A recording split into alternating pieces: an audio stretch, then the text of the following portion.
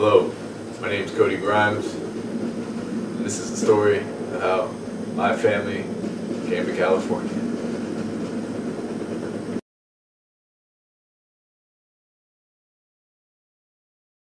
Next. Cody's grandpa, a Mr. Yes, Hughes, sir. was recruited and sent to war in Korea. Reporting for duty, sir. At ease, Corporal. Looks like you're a, uh, Hughes, correct? Yes, sir. Alright. Looks like you've been assigned to Korea. Write your uh, transcript number and get your ship boarding date out. Ricky Powers is cute.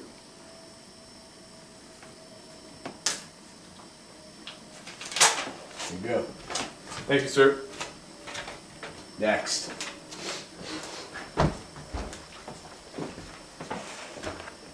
This is the right place. That's the right place. During his time there, one of his best friends set him up with a girl back in the States, Here, Johnny, initially why as don't pen seat? pals. Thank you. Appreciate it. I got you uh, some burritos here. You want some? Thank you. Better than all this damn foreign food these gooks are bringing in. Oh yeah.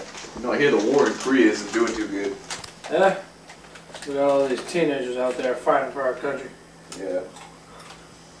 You know, one of one of my friends actually really digs uh, one of your friends over there in Korea.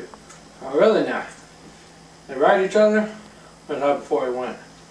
Uh, they don't write each other. I was thinking of actually getting them to write each other. Huh? Really now? Well, let's do it. I'll give him the address, you give me the other stuff we need to reach the corporal out there. Yeah, like pen pals or something. Alright, Alright. here you go. Thank you. Goddamn errors might intercept the mail. Yeah. Now, as you can see, there's uh, you can get that address, and uh, that's your man.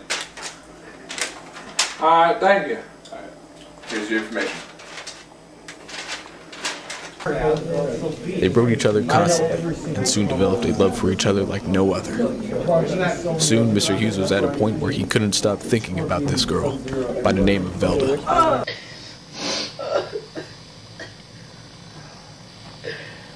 Oh man, Velda, I wish you were here right now. He thought about her day in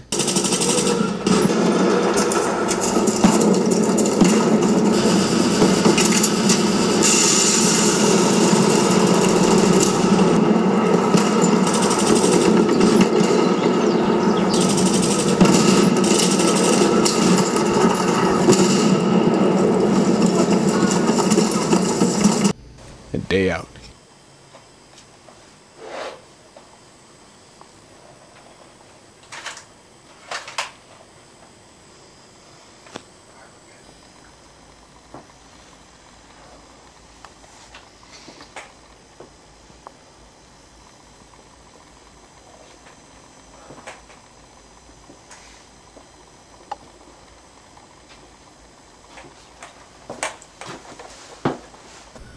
He missed her.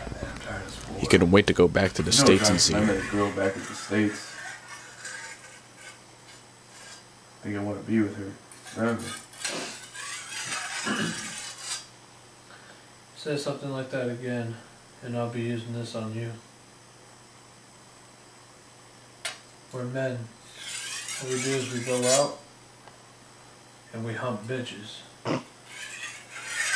Lots of them. And we break their hearts and we do it again. Alright. Just uh, I'll let you know that. First platoon's on the move.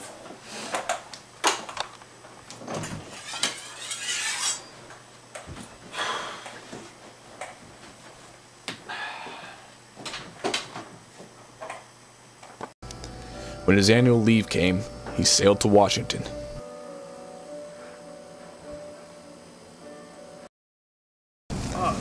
When he got off the boat, all he could think was about her. Man, Rogers, aren't you a little seasick from that uh, that uh, that ship? Yeah. Man. Yeah. Don't you think Washington's a, a great state? Yeah, this is a great state. I think I'm gonna like it. I'm gonna like it too. He eventually got to see her. Stars are really bright and beautiful tonight. Uh, Yeah. honey, I love you. Man, And then he contemplated marriage. I really want to marry this girl. You know what? I'm gonna go do it. The first time he asked her to marry him, he was denied, and he sailed back to Korea. No. Why not?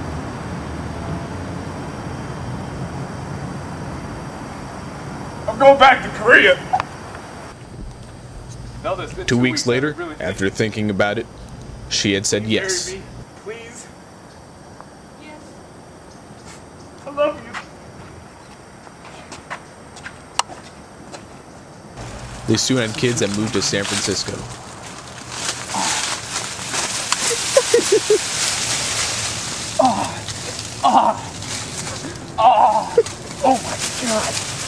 Oh, you're so thick. They then decided San Francisco wasn't the right place for them, and they moved to Newark to live happily ever after, where they still currently reside to this day.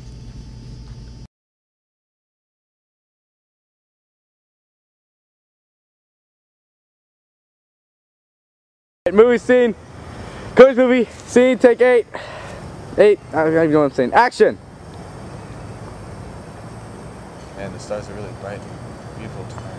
Honey. Damn it, Cody. I'm sorry. he looked at me with so homo.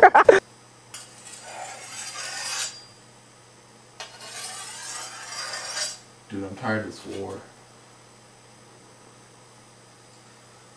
I want to see my family again. You know, Johnson. I met this girl back at the States.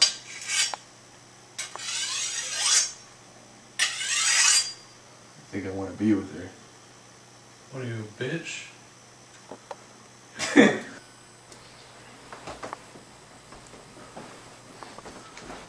Here, have a seat, Johnny. Alright, thanks, man. Here, some chips? Yeah, sure. You know, I hear the war ain't doing too good. Yeah. That's,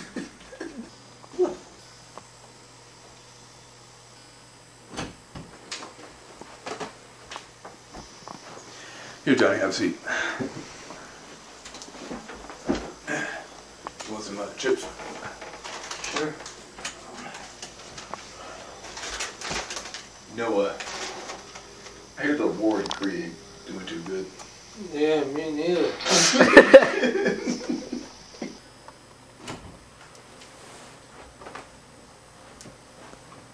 Here, have a seat, Johnny. Hi. Here, you want some chips?